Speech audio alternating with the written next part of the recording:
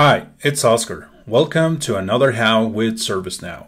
In this episode, I'm bringing you something outside the box how to display embedded knowledge base articles within a catalog item form or record producer form. I know I'm of boundaries. This is not best practice, but this was an atypical requirement I step into with a client. And here we go. So I have here a catalog item form and I have a drop down, of course, and we have two options. So basically what we want to do here is to allow the user to select an option and then display a knowledge base article. Okay, so you can notice this is kind of a iframe over here uh, without actually any border. So that's why it looks so neat. Of course, we have the vertical scroll bar.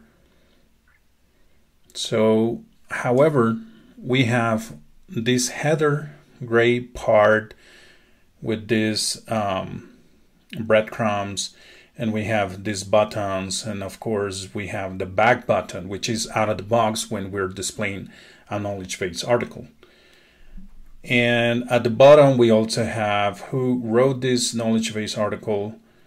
And uh, we can leave a comment and then has the copy permalink and all this information which is more on the footer. So the next thing we would like to do here is to remove this gray part on top of the header of the knowledge base article because we don't want users to click on these buttons or have these hyperlinks or have this other back button, right? So we want just to display the content of the knowledge base article. And for instance, if I select the other option, so I get displayed a different knowledge base article as well. And we have the same rendering. So rendering these knowledge base articles embedded in this form is very easy using two variables in this case to display these two articles. These two variables has to be the type of custom and then we'll have to create a portal widget and then have these um, knowledge articles displayed within an iframe. And that's what I want to show you next. So what we're gonna do is to open to open the um, developer tools from Chrome browser. And what we're gonna do is to right click and inspect. So as we can see, this is actually the, the header or the gray bar on top of that knowledge article. And if we scroll up a little bit, we will find the iframe. So there is a portal widget that has an iframe um, contained within that um, widget. So this is the the div tag of that widget and then we have an iframe and I provided an ID to this iframe to make it easier to to find so and we can see here that it is stretching the width of the main window or the main content for for the catalog item um, I'm setting the border to zero. So that's why we don't see that ugly border on the on the iframe that we are used to. And of course you can adjust the height of um, how big or tall you want this iframe as well. And the scroll bar um, vertical scroll bar will adjust to the content. And finally we have the source which is the url to display this particular um, article. All right so let's do the following. So somehow we need to get rid of this header okay? And the best way to do that will have to be, you know, uh, let me choose first the, the very first article and then we'll go back to the console and let's clear the console and now using jQuery So we are going to grab this element, this HTML element for the header. Okay, so remember, and I'll do it again. I will inspect. This is gonna give me this div with this particular class, row, navbar, navbar default, etc. So this is the tag or the HTML element we want to grab using jQuery. So what we're gonna do here in the console is to do exactly that. So we have given the name or the ID in this case for KB article embedded uh, 1 and within the content because this is an iframe again so we're gonna get the iframe and then we're gonna get the content and then we're going to find the class that um, uh, whatever element has this class right? So and if we look at here so we got that.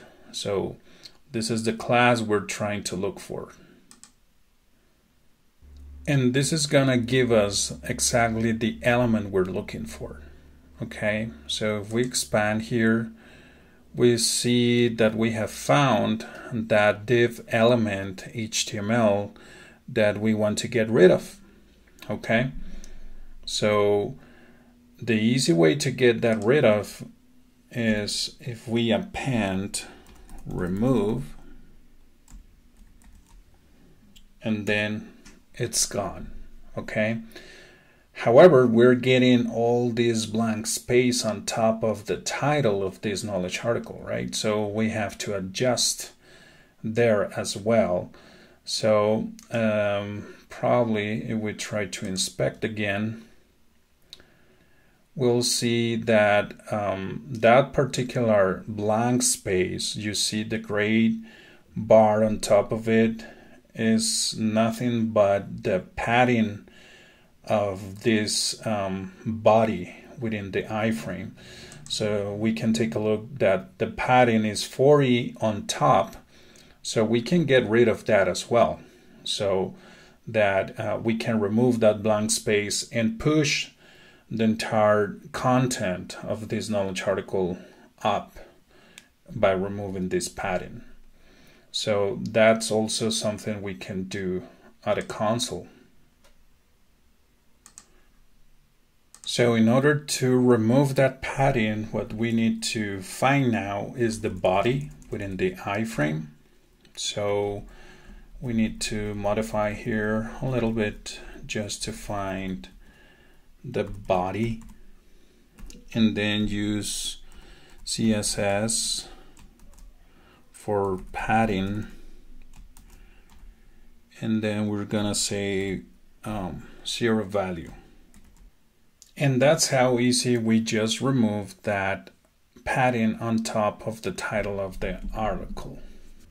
We can easily check by inspecting again to find the body and now we can see that there is no padding and it has been successfully removed. If we scroll down, uh, we'll find um, the footer part of the knowledge article as well, where we have these leave comments and and the button to leave those comments. So we would like to remove this as well from from here. In order to do this, let's first uh, try to find the element that is holding, for example, the copy permalink. So we can see here that we have two divs. One is article footer and article footer section. So we would like to remove these two, you know, because um, again, we have buttons that we don't want the user to be unable to click on those buttons because this is embedded in the form and we don't want any, you know, uh, trouble or mislead the user on so on having so many buttons on the form. And now we just proceed to remove both of them. So we're gonna find the articles footer section and then remove. And then we're going to remove the copy permalink as well. So we have removed everything here from the console. And now we can see how it looks without that great header, no footer. We just leave who created this knowledge article. And that's it. That's quite nice, isn't it? So how do we achieve this using the portal widget? That's the next step I want to show you. The configuration in the catalog item is very simple. So we have the select box and we have two custom variables. These variables are nothing but a widget, a, a service portal widget that I have created to display each individual knowledge article. So um, the very first option, which is for the email signature, uh, I have the classic div element that we always have in the body HTML template of the widget. And this is where I have the iframe and I have named this iframe with this particular uh, name and um, we have the width to 100 no border and the height is 600 pixels. And then we put just the URL for this particular article. Notice that um, this div is the element 0 this element 0 is what we're going to make it work using the link part of the widget so in the function, in this link function, actually we have access to the element. And basically um, the element is an array. There are two elements in this element parameter. So that's why we're going to grab always the very first element, which is in the index zero. That's our div that we have here in the body and this is where we are going to find the KB article embedded uh, 1 so that's the name it was given on the iframe. And then we are going to um, basically um, call a function on the uh, load event so that we can find that particular div element for the gray bar or the header toolbar on top of the knowledge article. Then, of course, if we um, if we get something there, we're going to remove it, and then we proceed to modify the body by finding uh, the body element in the HTML within the iframe, and then we're modifying the padding to zero so we can get rid of that gap on top, right? So remember we had a padding of 40 and we're just removing that padding because we want to push the content of the article to the top. And finally, uh, again, we're looking to find those two footer sections, the footer section as such and the article footer, uh, which uh, contains as well some um, box and buttons and things we don't want the users to be able to click because we don't want them to lose focus on the content of the knowledge article and proceed with the rest of the uh, form to fulfill to fill up or populate with the information that is needed right? So and this is how simple we can use the link function within the portal in order to access the DOM, HTML DOM, and use jQuery in order to modify the DOM on the fly, right? And we want to do it when, when um, you know all the HTML has been loaded, right? So we want to do that when everything has been loaded on the browser. This is the other portal widget for automatic replies. We have the iframe as well. We have embedded number two. And basically, well, of course, the URL will change to display the second um, knowledge article. But on the link function, we basically have the same um, the same code, right? So we have the same lines of code in order to find the gray bar toolbar or header.